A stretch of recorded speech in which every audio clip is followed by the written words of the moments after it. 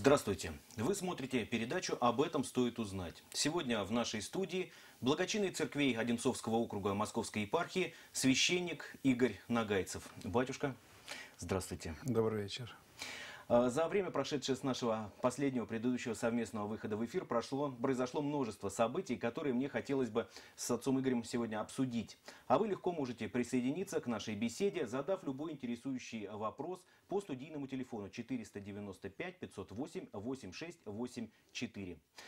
Итак, батюшка, давайте начнем с одного из масштабных событий, которое произошло совсем а, недавно. 1 ноября 2018 года в Государственном Кремлевском дворце под руководством президента России Владимира Путина и святейшего патриарха Московского и всей Руси Кирилла состоялось пленарное заседание 22-го Всемирного Русского Народного Собора. И посвящено оно было теме «25 лет по пути общественного диалога и цивилизационного а, согла- развития России».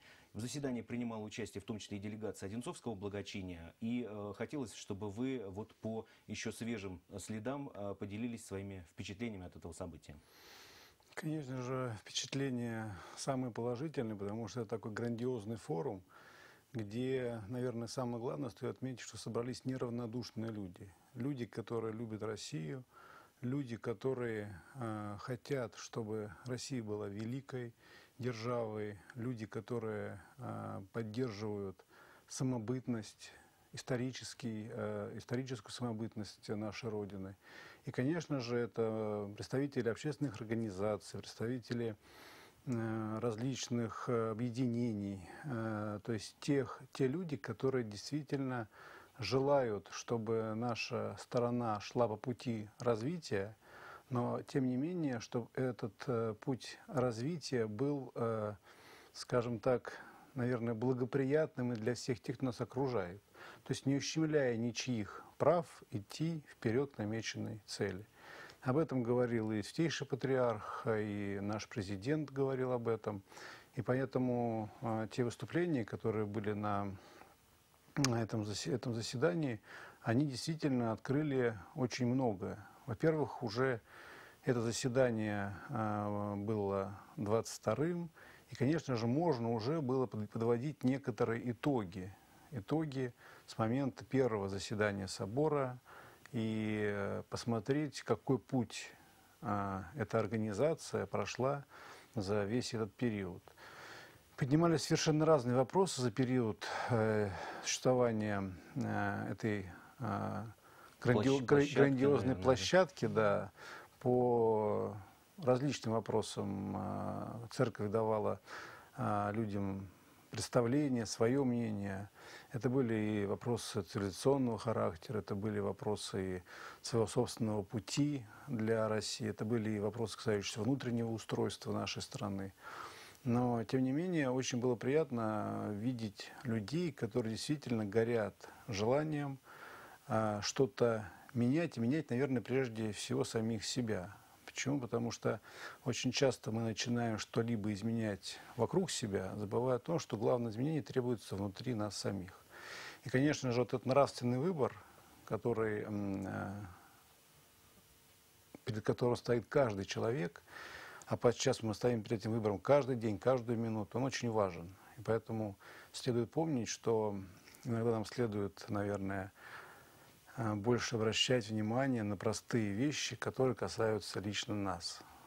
Как говорил Серафим Саровский, по-моему, «Спасись сам, и вокруг тебя спасутся тысячи». тысячи, да, именно так. И э, вот этот путь, который действительно у России уникальный, он э, представляет большой интерес и с исторической точки зрения, и с э, нравственной оценки. Поэтому, опять же, повторюсь, вот этот форум, он действительно был каким-то грандиозным. И вот даже все желающие уже не могут вместиться, даже в такое огромное э, дворец съездов, он раньше назывался, а от нашего благочиния смогло принять участие всего лишь 15 человек. Но, тем не менее, вот э, ту информацию, которую они получили, они смогли поделиться и со всеми, кто этого желает. Ну и тем более все документы э, собора, они публикуются в сети интернет. Можно посмотреть на сайте патриархии выступления нашего патриарха и выступления нашего президента. Поэтому все эти документы доступны для общего использования. Ну, вообще, вот э, дата 25 лет кажется несколько преуменьшенной, да, может быть, это новейшая, имеется в виду новейшая история России, да. Э, понятно, что в какой-то момент, возможно, этот путь прерывался общественного диалога и цивилизационного развития, но на самом деле ему, конечно, не 25 лет, и история, история вот этого пути российского, трудного, непростого, она, конечно, намного длиннее. Ну, если мы вот э, от сегодняшнего времени отнимем 25 лет, мы, мы увидим, что как раз вот этот вот рабочий орган, скажем так, был создан именно в 90-х годах, когда Россия действительно находилась на перепутье дорог и практически на, подчас на пути гражданской войны. Это 91 год, 93 год. Именно тогда появился а, Всемирный русский собор, где смогли, который действительно стал площадкой для обсуждения различных тем. И церковь предложила эту площадку подчас даже противоборствующим силам, которые смогли найти общий язык в то время для того, чтобы не проливалась кровь, для того, чтобы действительно мы развивались, а не деградировали. И это действительно очень важно. Вот этот вот четверть века, которые прошли, они показали, что собор действительно сделал многое. И я думаю, что еще больше им предстоит сделать. Ну, понятно, если по временной шкале 25 лет отсчитать назад, мы поймем, в какую критическую точку да. нашей истории э, мы попадем. Это 93 год со всеми, со всеми событиями непростыми, подчас драматичными, которые тогда происходили в России. Ну и, батюшка, русский мир стремится к диалогу и развитию. Это ясно действительно по, да, хотя бы даже по наличию таких площадок.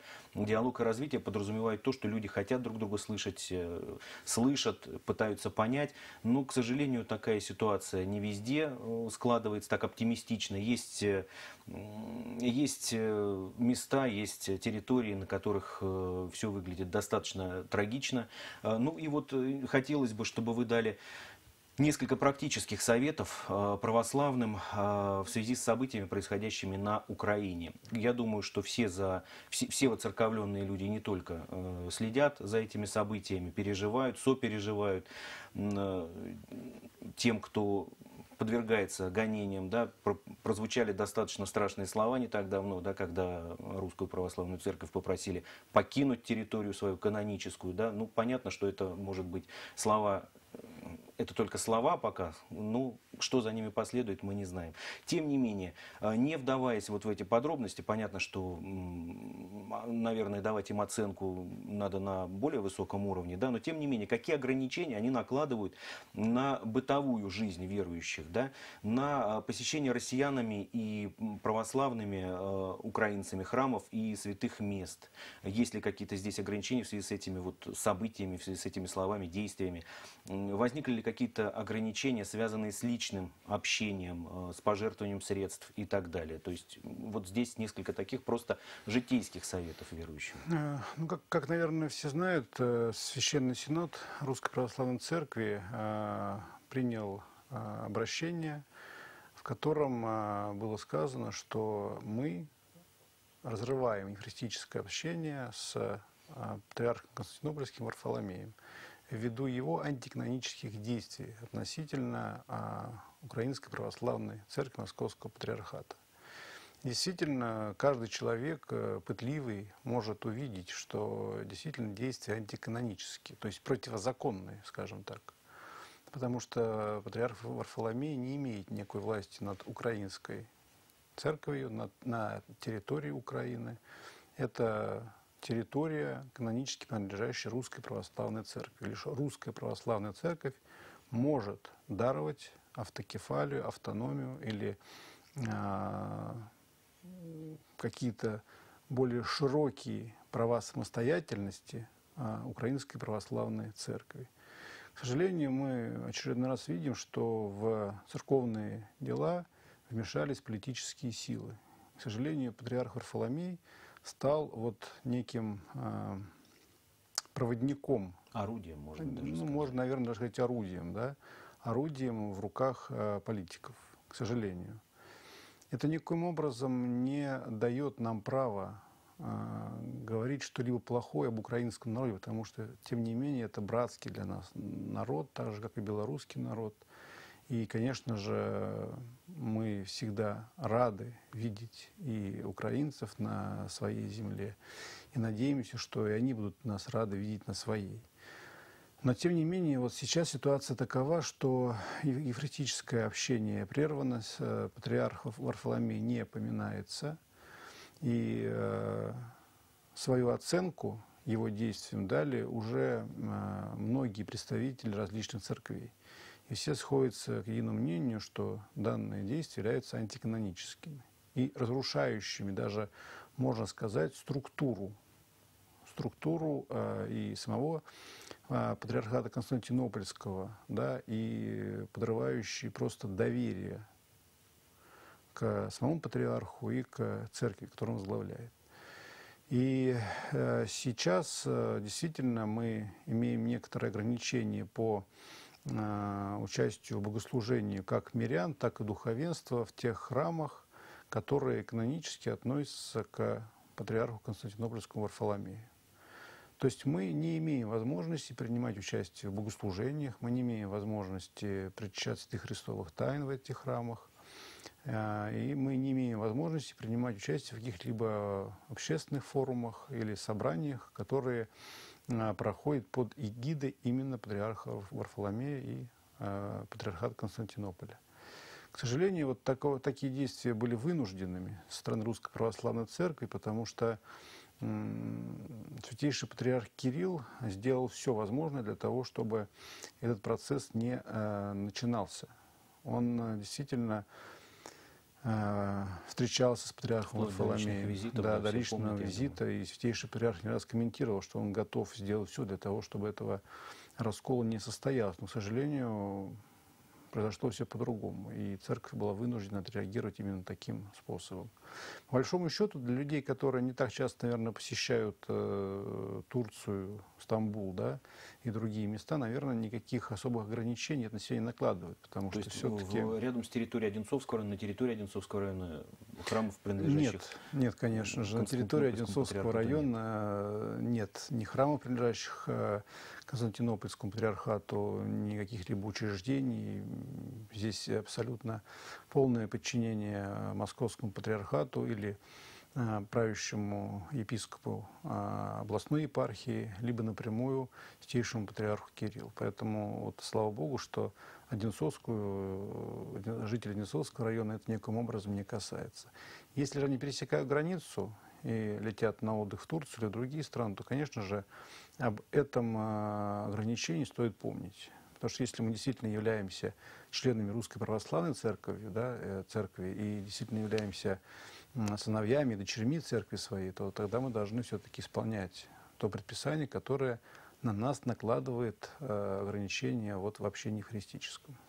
А, что касается некого перечня тех организаций, тех, э, вот, э, ну, скажем, зданий, да, церковных, церквей, которые нельзя посещать, можно ли где-то с ним ознакомиться, с этим полным перечнем? И вообще, если вдруг происходит такое нарушение, да, если человек не обратил внимания, например, да, на какие-то таблички у входа, да, и зашел такие, тем более все равно с экскурсиями достаточно часто, и в, то, и в Стамбул в тот же ездят, да, россияне. Насколько это серьезное нарушение с точки зрения православной Вы знаете, здесь именно речь идет не о посещении, об участии в богослужебной жизни.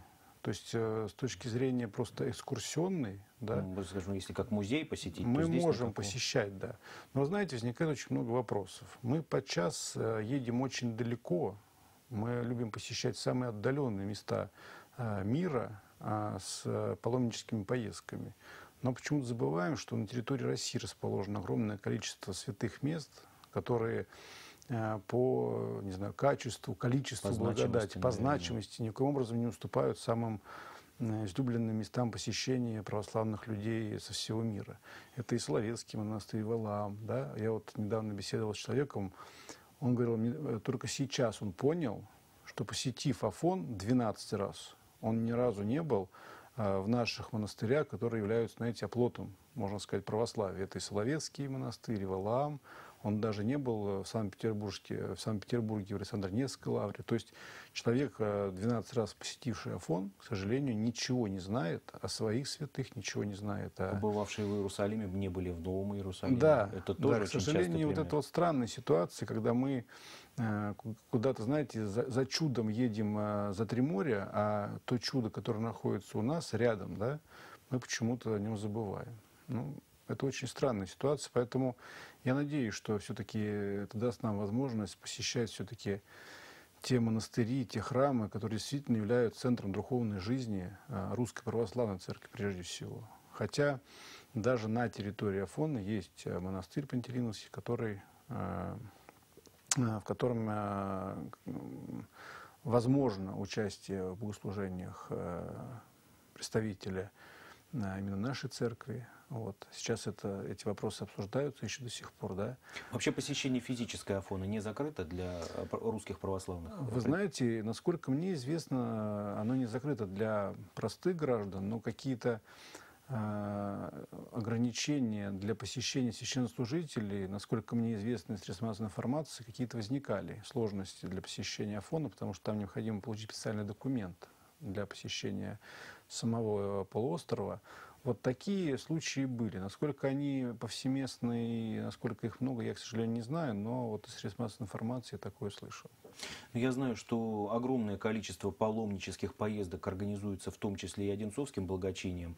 А, ну, просто был удивлен приятно, когда э, этот перечень увидел. И действительно, может быть, людям, которые хотели бы приобщиться к э, святости настоящей, побывать в святых местах, действительно стоит э, посмотреть поближе, Конечно. Не, недалеко за границу, а действительно сначала познакомиться с, с тем, что находится вот буквально на расстоянии вытянутой руки, а потом уже, может быть, если здесь не, не получат то, чего... Ну, вы знаете, как если не получат здесь, то, наверное, и далеко ехать и смысла нет, не получат уже и там. Знаете, у нас подчас бывают странные отношения. Мы почему-то считаем, что действительно качество и количество благодати, да, оно зависит от места. Прямо пропорционально расстоянию от да, места жительства. Да, да, да. И мы куда-то летим, куда-то едем и забываем, что прежде всего возможно, мы даже не сможем усвоить ту благодать, которая там нам будет подана, потому что наш, наше сердце не готово к этому. Да? Поэтому здесь, наверное, все-таки стоит задуматься о своем духовном внутреннем состоянии для того, чтобы действительно иметь возможность воспринимать ту благодать, которая нам подается. Мы об этом забываем и почему-то, посещая святое место, ничего не чувствуем. Почему? Потому что место не свято или потому что наше сердце настолько огрубело. Это вопрос, наверное, который должны сами люди сами себе задавать при посещении святых мест. Ну что ж, батюшка, ну, я думаю, как раз это та ситуация, вот то, то, о чем мы сейчас говорили, когда действительно можно с полным основанием сказать, на все воля Божия Бог рассудит, и на, как бы я думаю, что все разрешится наилучшим, наилучшим образом для Вы верующих Знаете, я думаю, и для что отношений да, между церковь, что, между потому что любое разделение, оно от дьявола. И, к сожалению, вот представители Константинополя, видимо, забыли об этом, а, потому что Бог всегда имеет начало объединяющее. А тот, кто пытается что-либо разделить, он, к сожалению, совершенно от других сил, нежели чем от Бога. Ну и давайте теперь все-таки к более приятным вещам. 4 ноября православные отмечали праздник Казанской иконы Божией Матери. Э, праздник э, в честь э, Дня освобождения Москвы и России от поляков в 1612 году. Вообще вот в чем причина такой притягательности образа, именно казанского образа Богородицы? Почему именно, именно к нему с таким трепетом относятся? Понятно, что трепет вызывает любой образ Богородицы, но вот именно казанский вызывает особые какие-то чувства в русской душе. Вы знаете, я в детстве этот вопрос а, такой же за, задавал своей бабушке. Почему именно так почитают Казанскую а, икону Божьей Матери? На что и моя бабушка, и многие другие отвечали, посмотри, какая она строгая. Строгая, но а, глаза наполнены любовью. Вот этот иконописный образ, который мы с вами видим, да, и знаем его как э, икона Казанская Божьей Матери, почему-то имеет действительно особо притягательное а, значение для каждого человека. Ну и тем более в этот день, да, как вы сказали уже, и в день празднования в честь Казанской иконы Божьей Матери мы вспоминаем День народного единства.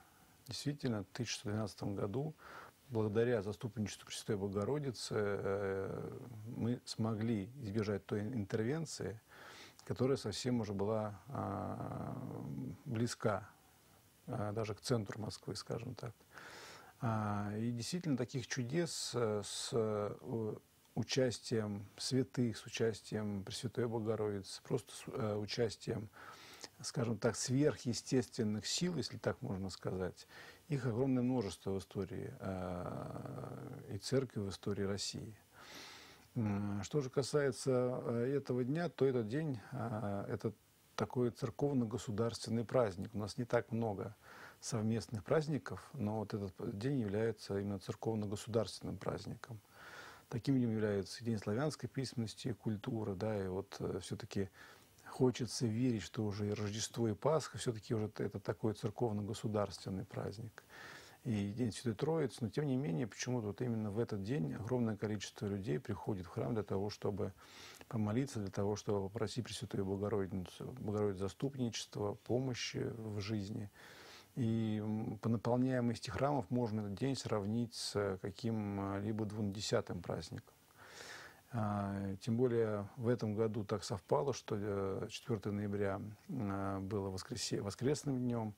И, конечно же, огромное количество людей пришло в этот день в храм, и пришли многие семьи с детьми. И вот этот вот людской поток, он не иссякал и во время богослужения, и после богослужения. Действительно было видно, что люди с особым сердцем подходят к иконе Пресвятой Богородицы, с особым сердцем а, просят Пресвятую Богородицу, благодарят за какие-либо уже явленные для них а, чудеса в их семье, возможно.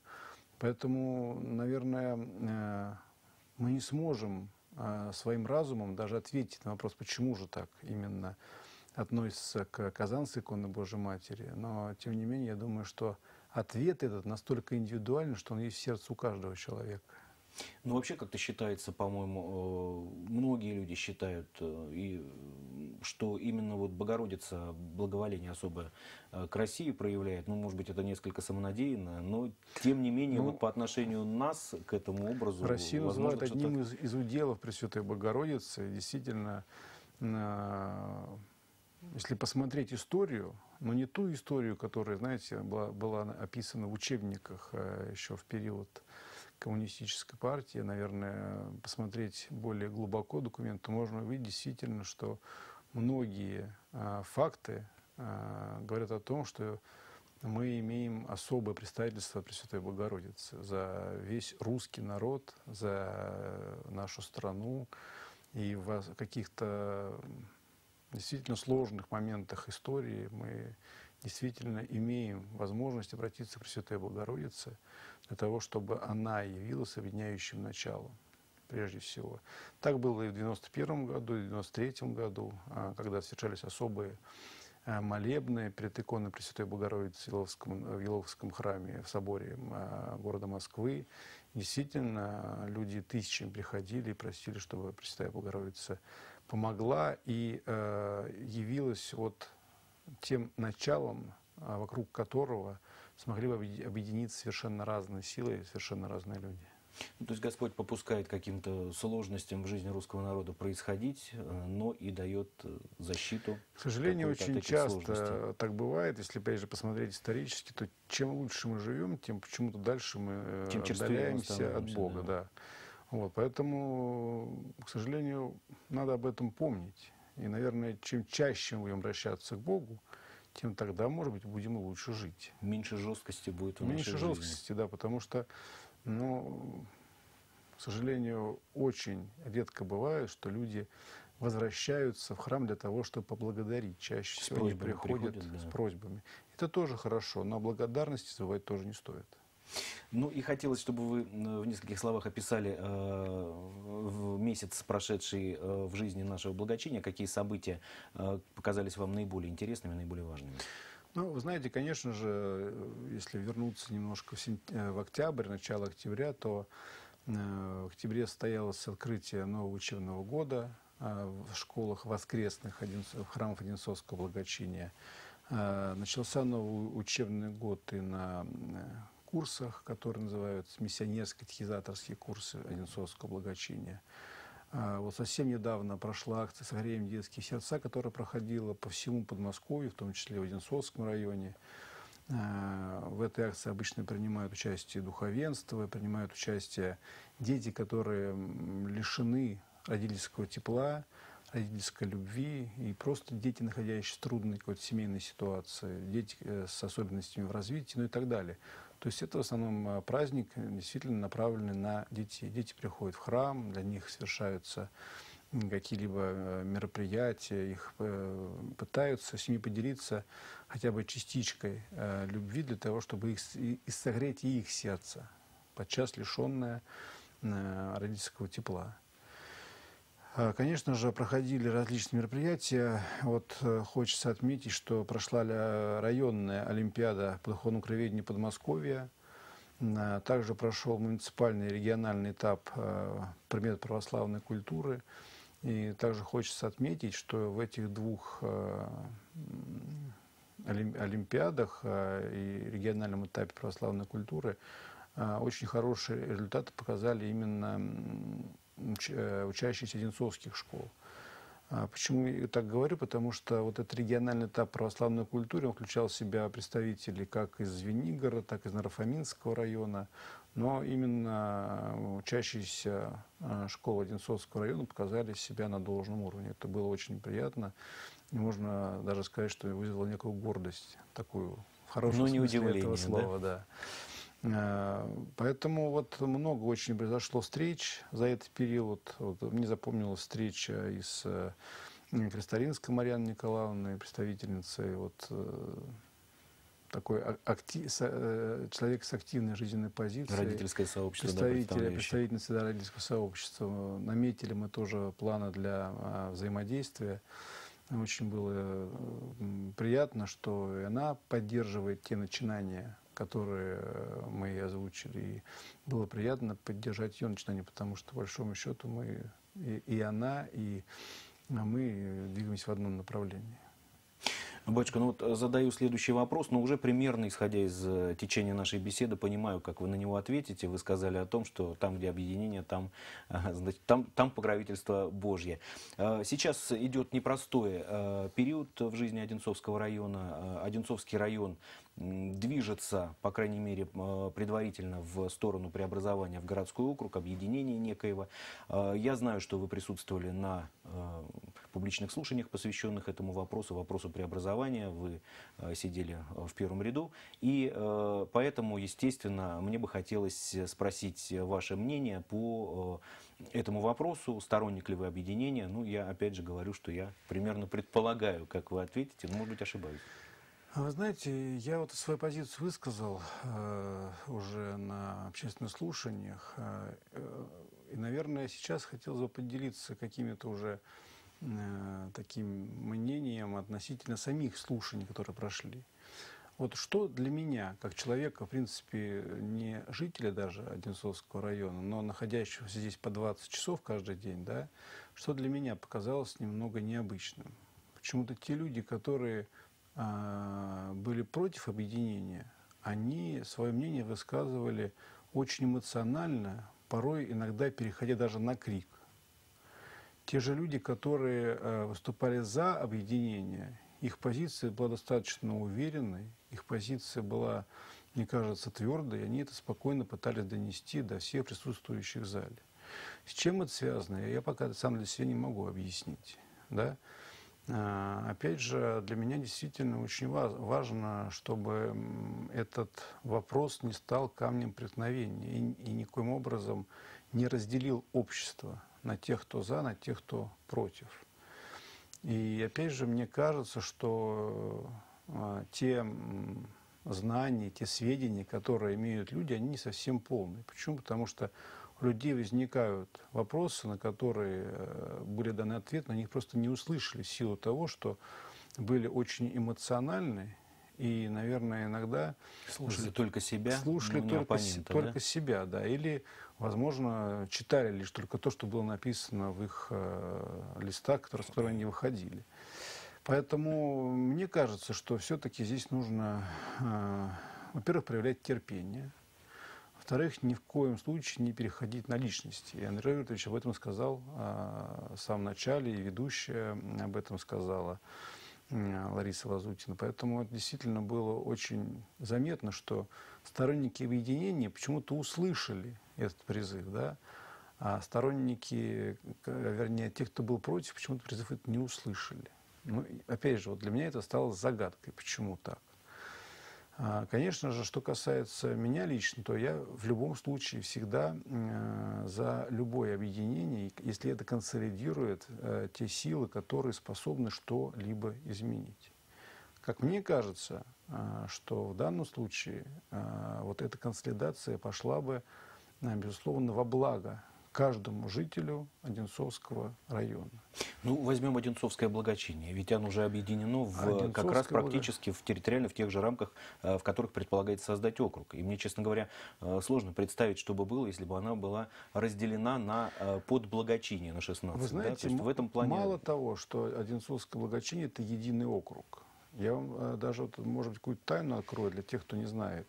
У нас те храмы, которые э, находятся в городе, да, которые, может быть, имеют большие возможности, э, помогают тем храмам, которые находятся в более отдаленных селах или Сильные населенных приходы пунктах. помогают Да. более слабым. И это нормально абсолютно. И вот здесь, наверное, надо думать не только о себе, но и и о своих соседях, о тех, кто живет рядом с тобой, да, о тех, кто нуждается в помощи. Нужно просто понять, что общее это всегда важнее, чем частное, потому что именно из частного состоит то общее, понимаете? А когда мы думаем только о себе самих, когда мы думаем только о частном, к сожалению, тогда страдает общее дело.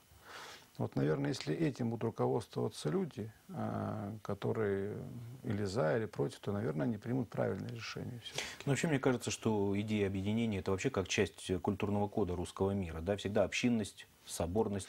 Эти понятия всегда были над Ну, Даже если не уходить человека. так глубоко в историю, то можно просто посмотреть э, по тем округам, которые уже объединились. Это и Балашиха, и, но- и Более практично, да, если на этот вопрос Мытищи, да, можно посмотреть, да, и посмотреть отзывы людей на сайтах. Ведь я думаю, что те, кто выступал против, к сожалению, не имели такой возможности узнать истинное положение дел и понять истинную картину происходящего. Почему-то многие лишь э, говорили о каких-то частностях, да, забывая О личных опять же, потерях, о- забывая забывая опять же об общем. Да.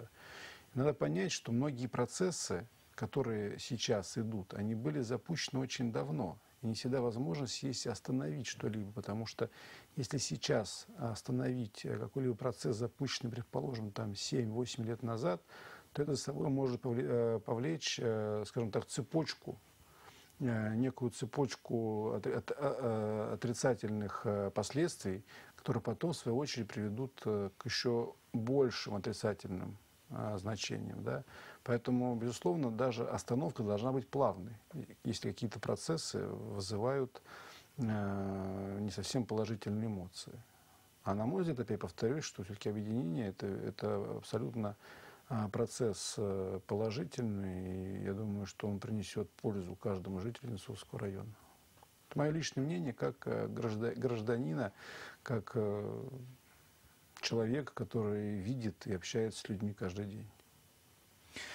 Батюшка, ну и еще такой один вопрос, э, достаточно, скажем так, житейский. В октябре начался э, учебный год в воскресных школах нашего района. Э, Почему, во-первых, он не совпадает с учебным годом общепринятым в светских школах, да? И во всех ли школах он начался, все ли прошло в этом плане единовременно и, с вашей точки зрения, правильно, нормально? Ну, Действительно, мы обычно начинаем учебный год или уже в конце, а, в последнее воскресе- воскресный день сентября, либо в самое первое воскресенье э, октября. Это связано просто с тем, что у детей так достаточно большая нагрузка в сентябре, и нужно адаптироваться после каникул к средней, средней школе. Да? Если мы еще их э, призовем в воскресный день э, прийти в школу воскресную, то, наверное, это будет тяжеловато немного. Поэтому просто исходя из э, каких-то практических, прак- практической э, целесообразности, мы обычно начинаем учебный год э, в воскресной школ именно в октябре месяце. Ну и потом уже для детей, которые отучились месяц, это хотя бы небольшой, но праздник. Почему? Потому что, конечно же, в любой школе воскресной это самая многочисленная, которая является там, школа Георгиевского собора или Гребневского храма, до самой малочисленной на отдаленных приходах. Это, конечно же, праздник, возможность для детей пообщаться со священником, возможность э, детей э, для общения между собой. И, как правило, всегда это праздник. И вот такой праздник э, прошел и в Гребневском храме, где, который собрал более 150 детей с различных приходах Одинцовского благочиния. Для них был устроен спортивный праздник. Они смогли, э, разделившись на команды, посоревноваться в спортивном зале. Были выявлены, конечно же, победители, но никто не остался без призов. И действительно это э, получился такой спортивный праздник, который принес радость не только даже детям, но и их родителям. А, на какие духовные события, которые пройдут в Одинцовском районе еще до конца 2018 года, вам бы хотелось обратить внимание а, верующих, ну и вообще жителей, жителей нашего района? Совсем уже скоро начнется рождественский пост. И, конечно же, главным, наверное, событием, которое совсем скоро состоится, это открытие рождественских чтений, ежегодных э, чтений, которые проходят в Одинцовском э, районе. В этом году открытие состоится в конце ноября. Э, мы сейчас готовим как раз ту площадку, которая станет, примет вот этот расширенный, скажем так, состав участников и готовим также и другие мероприятия, на которые обязательно позовем всех желающих. Также готовит сейчас э, ежегодный конкурс «Рождественский, «Рождественская звезда». Это конкурс э, работ, скажем так, прикладного больше характера, который проходит уже ежегодно в Захаровском Доме культуры. Опять же, уже начнем постепенно готовиться к празднику Рождества Христова и празднику Крещения. И в декабре э, мы э, также помним, что будет праздник введения 4 декабря и праздник в честь Александра Невского 6 декабря, именно в Дни воинской славы, когда мы особенно вспоминаем э, те славные подвиги, которые были совершены ради нашего с вами спасения во все годы, не только в годы Второй мировой войны, но и в различные другие э, войны, которые, к сожалению, в России было достаточно много. А, ну и, конечно же, один из любимейших праздников опять людей, это э, в честь святителя Николая, э, Никола Зимний, как называют его обычно. Вот это такие события нас ожидают, ну и, конечно же, много Э, тех процессов, которые уже э, были запущены и продолжаются. Это и, опять же, э, открытие, скорее всего, это произойдет с начала календарного года, открытие дополнительных бюджетных мест музыкальной школы. Это, этот филиал кроется именно вот в Пригревнинском храме для того, чтобы дать возможность детям бесплатно обучаться музыки для того, чтобы дать возможность им бесплатно обучаться на том инструменте, на котором хотели бы играть. Такая договоренность благодаря Андрею Робертовичу уже есть, э, уже сейчас формируется и состав педагогов, э, формируются и учебные планы, и готовятся помещения.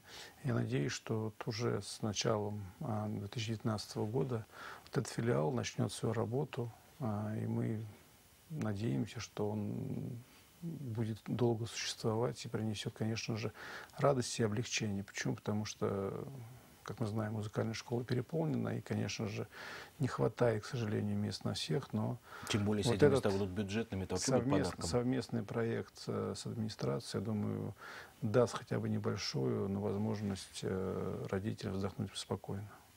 Ну, простите за клише, но повестка насыщенная, что называется, до конца года. Будем надеяться, что все это исполнится. Но я все-таки надеюсь, что в конце декабря мы вас увидим в этой студии с неким таким подведением э, итогов года и с какими-то рождественскими, предрождественскими и предкрещенскими напутствиями. Ну и хотелось, чтобы и сегодня вы не оставили без такого напутствия наших телезрителей и завершили наш эфир э, обращением к э, телевизионной пастве, можно так если сказать. Знаете, наверное, самое главное, что хочется пожелать, это чтобы люди в полной мере научились э, принимать самих себя. Мы, к сожалению, иногда порой бываем о себе слишком хорошего мнения или слишком плохого мнения о тех, кто нас окружает. Вот мне кажется, если переформатировать немножко свое отношение и к самому себе, и к своим ближним, тогда в нашей жизни станет намного меньше конфликтов, станет э, намного меньше зла, и, наверное, тогда мы сможем ответить себе на достаточно большое количество вопросов, которые возникают у нас э, на протяжении жизни. Вот это принятие самого себя и принятие своих окружающих, наверное, и будет э, главным пожеланием для всех наших телезрителей. Несмотря на то, что это очень непросто. Это очень непросто, но тем не менее мы должны это делать. И у нас есть на это силы. Ну что ж, спасибо огромное, батюшка, за то, что пришли к нам сегодня в студию. А я напоминаю, что гостем нашей сегодняш... нашего сегодняшнего эфира был благочинный церкви Одинцовского округа Московской епархии, священник Игорь Нагайцев.